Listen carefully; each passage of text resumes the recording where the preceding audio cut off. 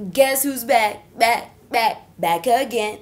Yeah, the Throwdown Queen is back. Welcome to yet another episode of, of course, the Chop Up. On this episode, I show you how easy it is to carve chicken in under one minute. Let's get into it. Once you've baked or grilled your chicken, let it cool, then begin to carve by cutting it into half. Take one half and cut it into a quarter. Cut between the wing and the breast, then cut between the thigh and drumstick.